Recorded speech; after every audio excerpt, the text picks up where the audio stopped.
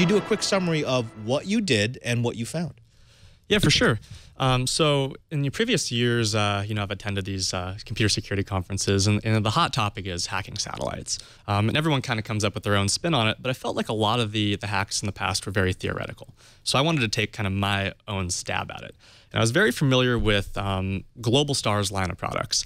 Um, they produce a series of um, asset trackers. Um, so you know you have an armored car, or you have your your yacht that you want to keep an eye on, or you. Uh, they also produce uh, personal locator beacons. So you're out in the the woods and you uh, you know you're lost and you need help. You press a button on this beacon, and these devices talk through talk through the Globalstar satellites and uh, they relay the data back to the uh, you know appropriate responder or back to your, your infrastructure. So I was like, hey, you know, let's take a look at this.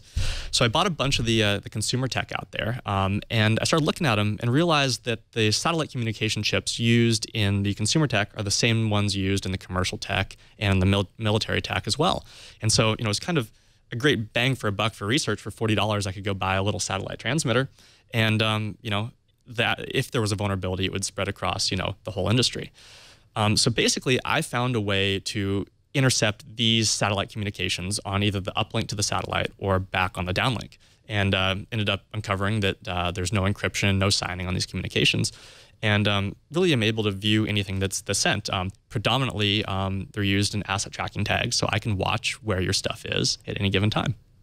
I, I, do want to talk about that because there's a fascinating aspect about you being able to track assets in real time uh, track actually that's not even call it assets you're tracking really behaviors in real time because that, so. that, that, there's all sorts of analytics that can be pulled out of that but i think what was shocking to most people is they just assumed that any sort of communication that you're going to be having with a space-based transport system is going to be encrypted or at the very least it's going to have some sort of authentication before you can read the packets uh, that's actually what blew me away about your research. There, there's no there's no encryption. They, they, don't even try. It's not weak encryption. It's completely clear text. For, for sure, yeah. Let me chime in there. Um, you know, I talked to a, a, a, correspondent. She was a correspondent in the Middle East for you know roughly about ten years, and her and her colleagues all used these satellite trackers to track themselves in case they were kidnapped. And they were under the impression that the, the communication was secure. Um, now to find out that this communication is not secure and that maybe they were actually being tracked the whole time, and these devices maybe were being used to target people. Um, who knows? But you know, the barrier to entry was very low, and you know, probably going forward, these devices should not be used in uh, you know mission critical scenarios like that. Uh, we've got a comment in our chat room from Bleepler, a longtime member of our community, and he's he's bringing up something that actually you did address during the Q and A session, okay.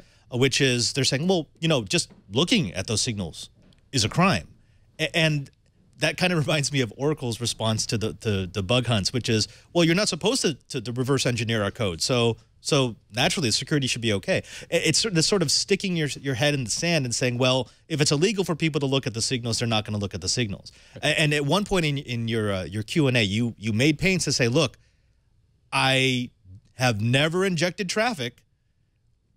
I could. I've done all the tests to say, yeah, I know exactly what how this communicates, what these how these protocols work. But uh, have have you received any sort of that pushback of saying, well, this is not research you should be doing because now you're showing people how to how to invade these systems? Um, honestly, no. I think everyone's been very supportive of it, and you know, I should make clear that I really was really focusing on intercepting my own traffic and you know, developing a, um, a capability that could inject back into the network, and really did my best to not interfere with anything and do anything illegal. Um, but overall, people have been very supportive and really curious about how their data is being transmitted.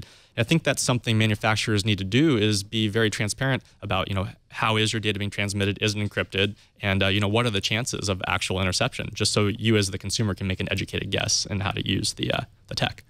Well, as long as it's here, let's go ahead and look at the box. So this is this is what you created. This is your research. This box right here can listen in on any of the signals being sent on a Globalstar network uh, up to what was the range again about a mile or so yeah so um, there's a couple components here um, the way the Globalstar system works is that um, it works as a, what they call a bent pipe system. So essentially, the satellite receives uh, signals from the user terminal, and then it just simply repeats that data back down to Earth. Mm. Um, and so you can actually intercept either on the uplink or on the downlink. So my initial research focused on intercepting on the uplink. Uh, it's a little cheaper that way, um, but the, it, the research can easily be translated to the downlink. So this is my uplink interception capability. Uh, it was built for under $1,000. That was part of the goal of my research is, you know, let's get more hacker eyes looking on these satellite systems. Um, so yeah, uh, we can take a look inside. Um, you know, up here is the antenna, uh, really an off-the-shelf uh, Globalstar antenna, and we open it up. Um, and inside, the, the, brains of the beast is this USRP uh. uh, B200 made by Ettus Research. It's a uh, software radio that can tune from anywhere from, you know, We've, we've, been salivating oh. over one of those. We really wanted one of those on our well, Know, well, our Maker show. Well, feel free to borrow it sometime and, and you know, take, take a look.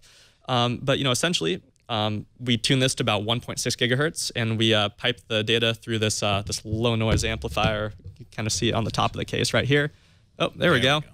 So yep, this is the antenna goes in the low noise amplifier, and this data comes back down into the board.